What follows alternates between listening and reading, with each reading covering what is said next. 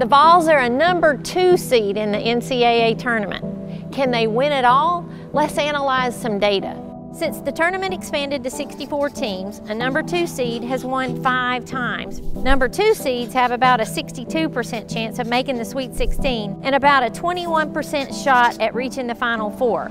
But once they get there, the odds of winning it all depends on who else advances. We can calculate their chances with a method called Bayes' theorem, which predicts a future event conditioned on known information or a past event. The more number one or number two seeds that make it to Minneapolis, the harder it will be for the Vols or any other lower seed team to win. If three top seeds make it to the Final Four, the odds of the lower seed winning is about one out of five. If two top seeds make it, the probability is about 31%. And if there's only one number one seed, the probability is about 42%.